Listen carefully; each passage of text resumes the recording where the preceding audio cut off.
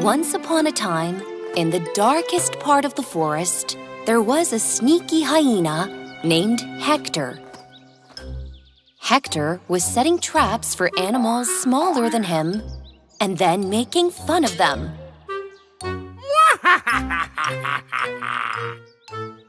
Sneaky hyena Hector found a letter while wandering in the woods. He excitedly opened the letter and saw that there was a golden paper inside. There was something written on it. Hector looked at the paper for a long time, but he didn't understand anything. Because Hector was an illiterate, bad hyena. At that moment, a baby hedgehog passing by stopped when he saw the golden paper in the hand of the hyena. Hey, hello, sir. Where did you find that letter? Huh? In the bottom of the earth or on the top of the mountain? It's none of your business. It's mine. Oh, okay. So you are going to Teacher's Day camp too? I can't go because I don't have a teacher. At that moment, the hyena had a sneaky idea. He was going to trick the hedgehog and go to that camp and kidnap every little animal and devour them. Actually, I am a teacher. But I forgot to take my glasses with me, so I can't read the address. Will you take me to the camp, son? Hedgehog enthusiastically accepted the sneaky hyena's request, and they set out together for the teacher's day camp. Hector had a tough time when they got to camp because wherever he looked, he saw tiny little animals that he could devour. Now, in this camp, you are my teacher and I am your student, sir. All right, tiny student. Now I'm going to teach you something about time. Let me keep you busy for a long time and then feed myself. the sneaky hyena asked the hedgehog to stay where he was until his shadow shortened. And the hedgehog listened to him and began to wait under the sun. Taking advantage of this opportunity, Hector saw a rabbit collecting wood for the campfire. To catch him, he tied a carrot to a rope and threw it in front of the rabbit. When the rabbit saw a carrot, he couldn't stand it and started to gnaw it. Here, you fell into my trap, rabbit! As the hyena pulled the rope towards himself, the rabbit was getting closer to him. But just as Hector was about to jump right on the rabbit, Teacher! Whoa! The baby hedgehog appeared before him. My shadow shortened and almost disappeared? What does that mean? Uh, that. That. That means the sun is directly overhead, son. Oh, wow! That's wonderful information! Wonderful! Thanks to the baby hedgehog, the rabbit both ate the carrot and took the wood and returned to the tent. The hungry hyena was very angry. Son, I will teach you another thing. Listen to me carefully. This time, the hyena took the baby hedgehog to a fallen tree. He asked him to count the rings on the log. The hedgehog enthusiastically accepted this and started counting the rings. But there are too many rings here. The number is endless. Uh... The sneaky hyena Hector left the hedgehog and scrambled away. Just ahead, he saw three lambs dancing and having fun. And now I'll get something delicious!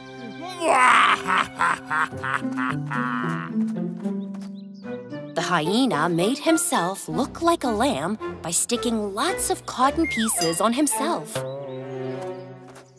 Thus, he mingled with the dancing lambs by baaing.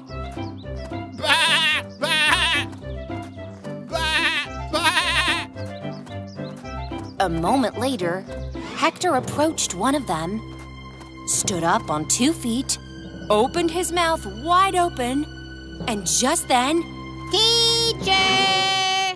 the baby hedgehog appeared before him.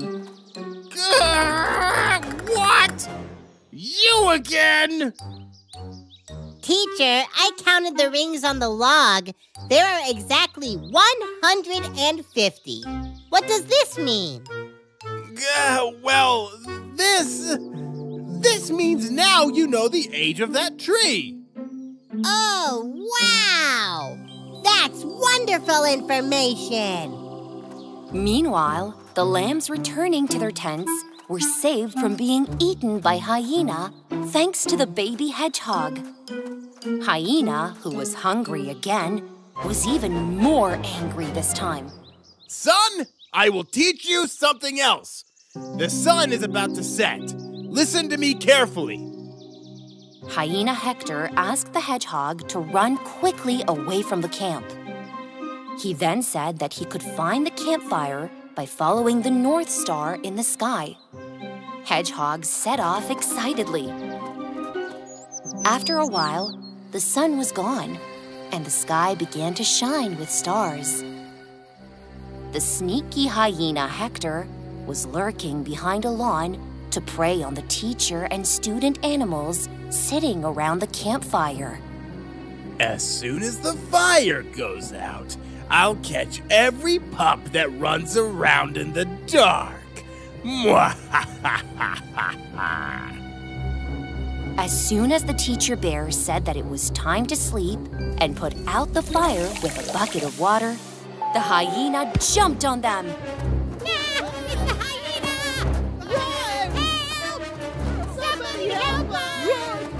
While the animals in the camp were running around in fear, the baby hedgehog finally found the camp with the light of the North Star. However, he was stunned by what he saw. No! He he is not a teacher. I was deceived. The hedgehog started throwing the needles on his back at Hector so fast that he trapped him in a tiny space.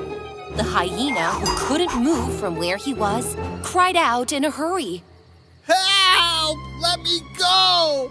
Okay, I promise I won't hurt you. I will leave the camp immediately. The hedgehog slowly approached the hyena.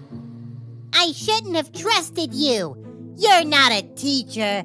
You're a sneaky hyena.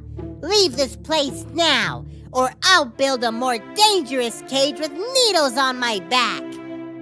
With the help of the hedgehog, the hyena got rid of the thorns and quickly ran away from the camp. That night, the teacher bear gave the little hedgehog the most valuable prize of the camp, the Little Teacher Award. Because sometimes knowledge alone is not enough. It is necessary to use knowledge for good purposes and sometimes to crown this knowledge with courage.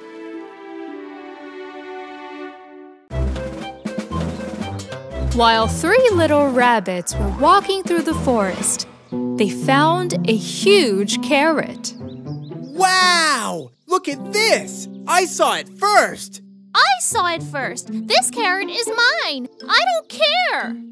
But I saw the carrot too. While the rabbits were arguing for a long time, one of them finally came up with a great idea. Let's go to the furthest part of the forest and race up to here then. Whoever comes first gets the carrot.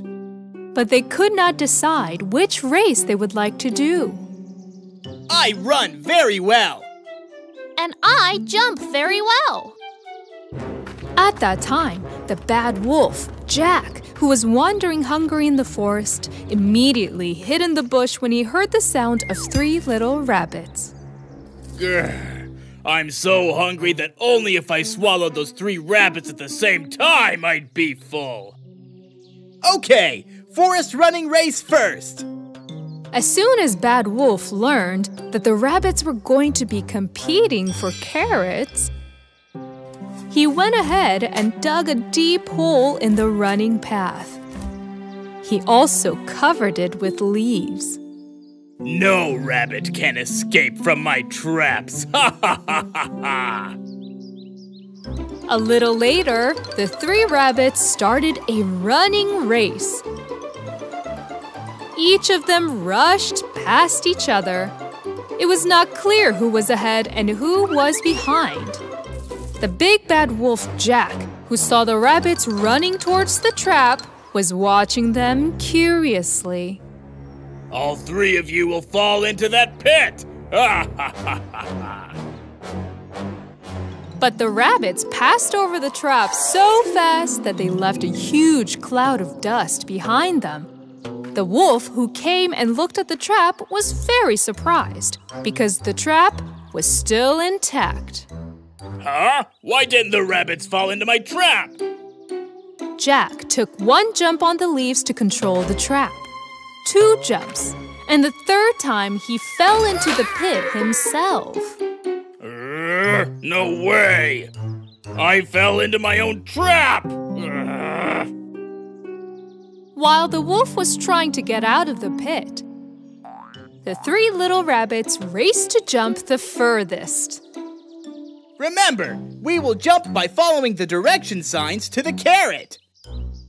Just as the race was about to begin, the second rabbit got a thorn in her foot.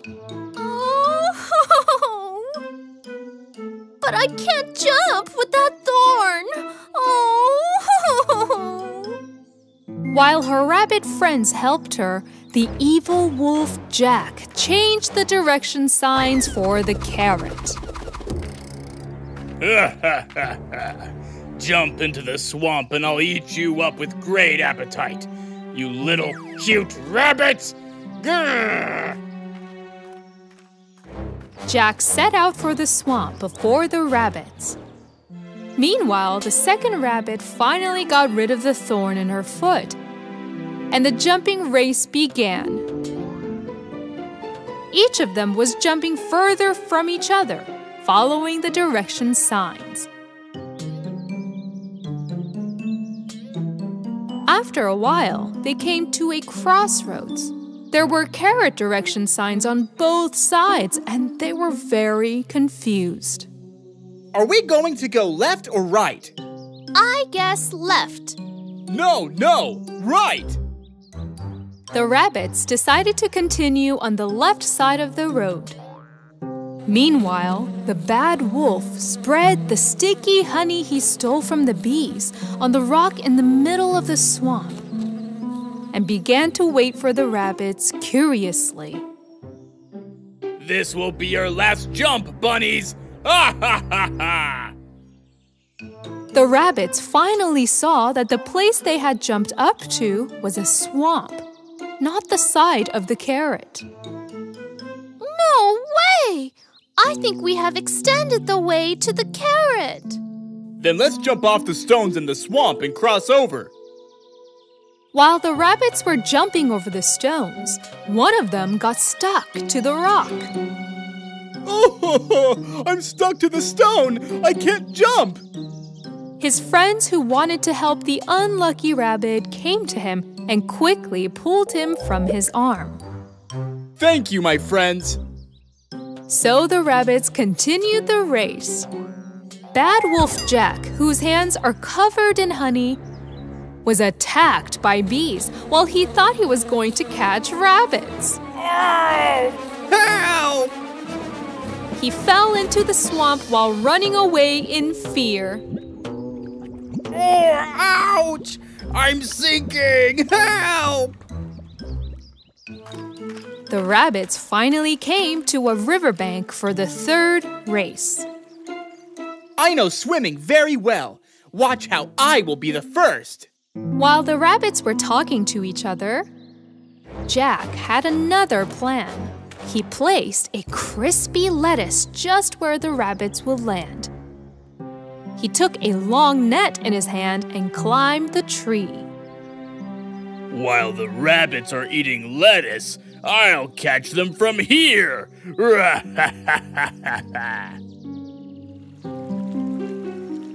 the rabbits quickly started a swimming race. If one got ahead, the other would swim faster and overtake the other one. Finally, all three of them landed at the same time, finishing the race. When the rabbits saw the lettuce right there, they started to eat it with great appetite. Just as the bad wolf was about to catch them from the top of the tree, one of the migrating storks got caught in Jack's net and flew away with him. No! Let me down quick! Ah! The rabbits finally got very close to the big carrot, and they started running towards the carrot for the last time. But Jack, the wolf disguised as a carrot, was waiting for the bunnies at the finish line. This time I will eat you as soon as I open my mouth! While the wolf was waiting for the rabbits with his eyes closed and mouth open, an old farmer approached him with joy when he saw a giant carrot. Whoa! Look at that carrot! It's huge! The farmer didn't even realize that the carrot he was shouldering was actually a wolf disguised as a carrot. Grr! Leave me! I'm not a carrot. I'm the bad wolf. The bad wolf! Jack! At the end of the race, the rabbits reached the finish line at the same time, so all three of them took first place. We all won all the races at the same time! Then the three of us can share the giant carrot. Yes, but where is the carrot? When the rabbits wandered around a bit, they found the real carrot the wolf was hiding. And they all ate well together. Because the important thing is to have good friends with whom you can achieve anything together.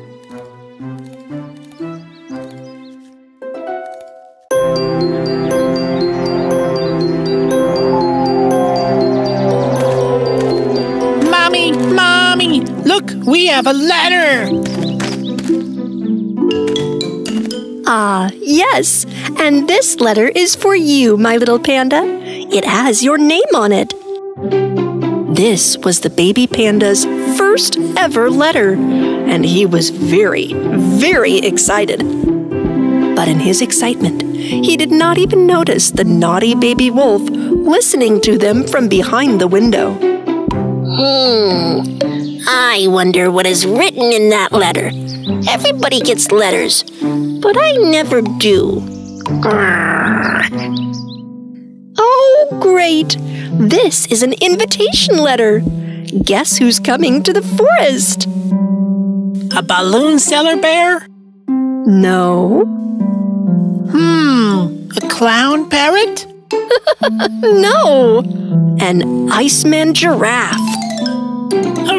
Hooray, hooray, hooray, woohoo! So, an Iceman giraffe. You all will see what it means to not invite me. When the sun was shining directly overhead, the baby animals who wanted to eat ice cream gathered near the bamboo trees and were waiting for the Iceman giraffe. But no one came. I'm tired of waiting. When will the Iceman giraffe come? Um, well, it was written here as the place on the invitation, right? Yeah, yeah, we're waiting in the right place, right here. After a while, the Iceman giraffe came to the baby animals sadly. But he didn't have any ice cream cart with him. Sorry to keep you guys waiting, but my ice cream cart got lost. This morning, I put strawberry, cocoa, and vanilla ice cream in my car and hit the road. I wanted to rest by an apple tree as I was walking by the river. At that time, I ate the fragrant red apples on the tree. I was just about to set off again, and guess what I saw? My ice cream cart was gone! I searched, I looked everywhere, but no, no. Oh, ho, ho, ho, ho. Don't be sad, Iceman Giraffe. We will help you. We will help you find your ice cream cart. Really? They all went to the apple tree to find the lost ice cream cart. At that moment, the naughty wolf, who kidnapped the ice cream cart into his own den, started to eat all the ice creams with appetite. Yum, yum, yum. oh, it's all mine. No one but me will be able to eat ice cream. The baby panda, who was chasing the ice cream cart, showed his friends the tire tracks on the ground with a magnifying glass in his hand. Here are the ruts of the ice cream cart. This way. Come on. However, the ruts ended when they got to where the tall grass was. oh, what are we going to do now? Friends, I smell a scent. Do you feel it too? As if Strawberry. Yes, this is the scent of strawberry. Panda and his friends saw a piece of strawberry ice cream smeared on the trunk of the tree.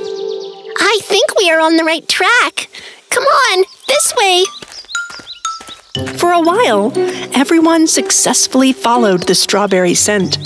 However, when the road led to the swamp, the smell of strawberries has left its place to the smell of mud. Well, we've come this far, but I can't see an ice cream cart around. Aha! It's not an ice cream cart, but the mud smeared ruts continue here. Yes, moreover, this time there is not only a wheel, but also a paw print. The baby panda and his friends immediately realized that the mud marks they found belonged to a wolf. So, following the tracks, they came to the wolf's den. The fox said that one of them had to go in and get the ice cream cart. But, but I'm so scared. No, no, no, I, I can't. I'm so scared too. I can't. Huh? I can. Panda gathered all his courage and walked towards the wolf's den. Realizing that someone was coming, the naughty baby wolf immediately shouted loudly and tried to scare him. Who is it? Do not come! I set a trap. If you come in, I will eat you. Panda knew from the wolf's voice that he was very sick. So he fearlessly went up to him and saw that all the ice cream had been eaten. Oh, you are so sick, Wolf. I'm not sick. All the ice creams were mine, okay? Oh. Panda barely persuaded the wolf and took him out. The other animals and the giraffe were very surprised to see the wolf so sick. They immediately seated him next to a stone, warmed by the sun. One offered a hot fruit tea, the other a healthy bamboo soup, and the other handed him a long scarf to warm him. If you hadn't stolen the ice cream cart, we'd share the ice creams and have a good time together, naughty wolf. Yes, and you wouldn't be cold and sick on this beautiful summer day. But you weren't going to share your ice cream with me because you didn't send me an invitation letter. When the baby wolf said that he had not received a letter, the crocodile pointed to the branches of the tree standing in front of him. I think the letter you received got caught in the branches of the tree over there. That's why you haven't seen it. Oh, here, the postman stork always delivers the letters to their owners. Look, it even has your name on it. From that day on, the wolf became a more careful pup and treated his good friends better because he never forgot that the most important thing in forest life is solidarity and friendship.